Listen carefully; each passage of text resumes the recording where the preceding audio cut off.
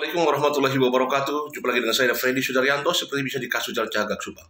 Berita bagus dan terupdate untuk obstruction of justice. Seperti apa? Ada berita bagus, ada berita mengejutkan dan ini yang kita tunggu-tunggu. Obstruction of justice akan segera naik. Mudah-mudahan bukan hanya satu, karena mungkin hari ini baru satu, mungkin nanti lanjutnya kedua mudah-mudahan sekali lagi ini mudah-mudahan uh, apa namanya memecah kebuntuan kita. Kalau saya katakan pecah telur ini pecah telur.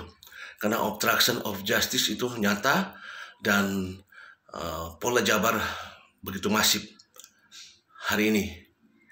Hari ini.